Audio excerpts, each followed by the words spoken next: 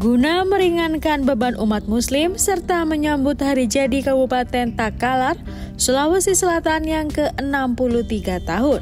Unit Pengumpul Zakat atau UPZ Pemprov Sulawesi Selatan menggelar pasar murah dengan menyediakan berbagai kebutuhan pokok.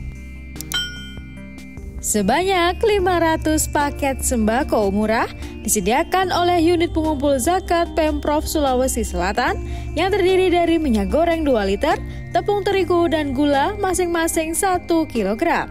Paket ini dijual kepada kaum duafa dengan harga 30% lebih murah dari harga pasaran.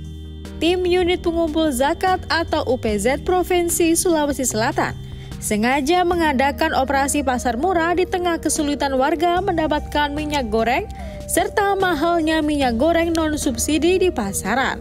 Tak ayal, paket tersebut sudah habis terjual dalam waktu 30 menit saja. Rencananya, tim UPZ akan terus menggelar pasar murah hingga memasuki bulan Ramadan nanti. Dari Takalar, Sulawesi Selatan, Agus Barumbung melaporkan.